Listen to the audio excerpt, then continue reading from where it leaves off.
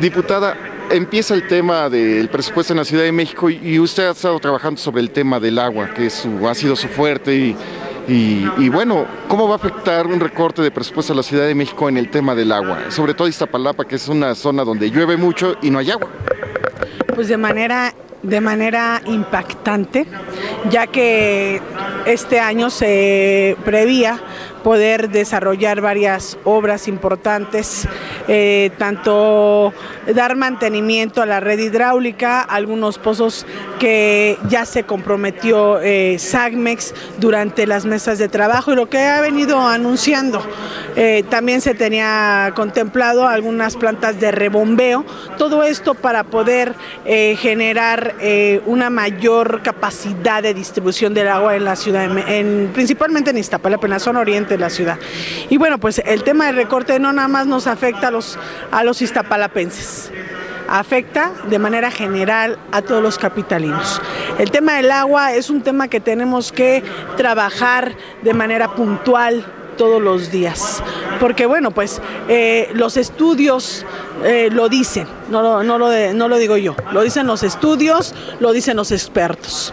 Y en las últimas entrevistas lo dijo eh, Ramón Aguirre, que está al frente de SACMEX del gobierno de Estado Federal que solo tenemos agua para 50 años. Si no la cuidamos, si no invertimos en infraestructura urbana, estamos hablando que en unos años la ciudad se va a ver colapsada de manera severa, ¿verdad? Y esto afectará porque seguramente, como ya lo he dicho en algunas entrevistas y en algunos foros, pues tenemos que prever porque se pueden dar conflictos en la ciudadanía, enfrentamientos entre delegaciones por la distribución de líquido vital. Yo he planteado un observatorio ciudadano, ¿verdad? Porque sabemos perfectamente que hay delegaciones que les llega mucho más agua que a la gente que vivimos en Iztapalapa, que vivimos al oriente de la ciudad. Estamos hablando que un ciudadano de Iztapalapa recibe el 60% menos de líquido vital que cualquier ciudadano de otra delegación de la zona centro si bien este año con el recorte presupuestal no se invierte en, el, en infraestructura hidráulica, no se invierte en, el, eh, en darle mantenimiento a nuestra red de drenaje, vamos a tener un problema severo.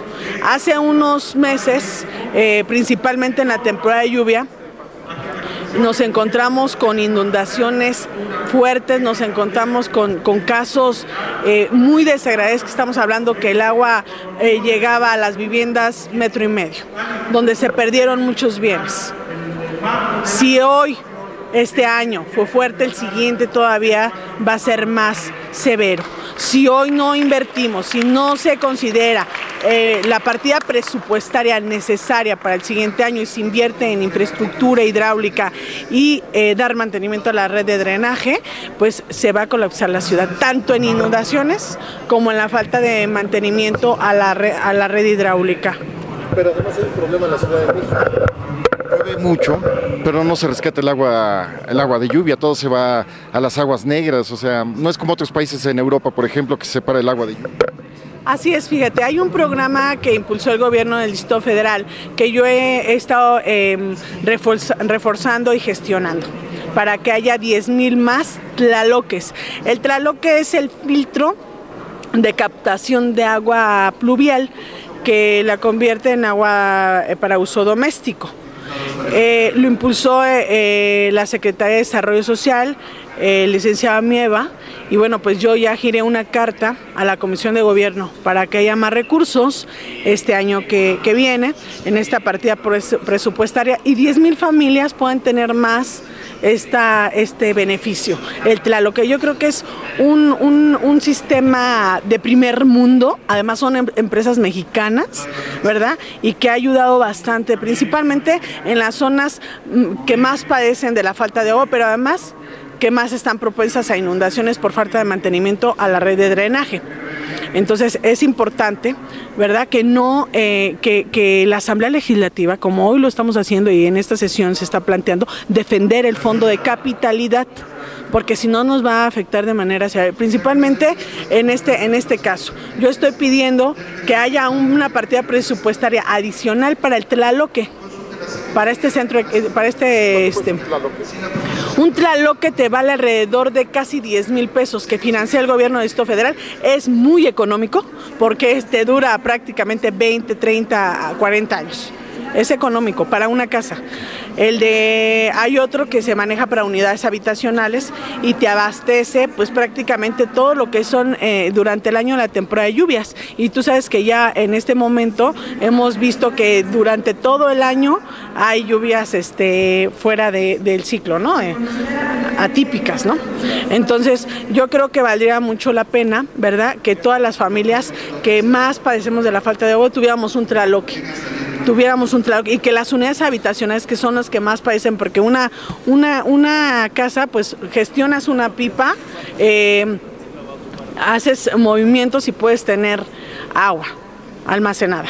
Pero si tú vives en un edificio en el quinto piso, se complica la situación porque cómo vas a subir eh, eh, eh, el agua al quinto, tercero, cuarto piso de un edificio. Es muy difícil.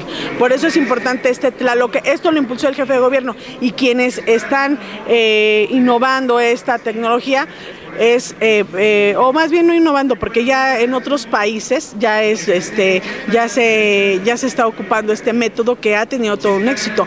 Pero sí, quien está construyendo los tlaloques que está invirtiendo el gobierno de la Ciudad de México es, son empresas mexicanas.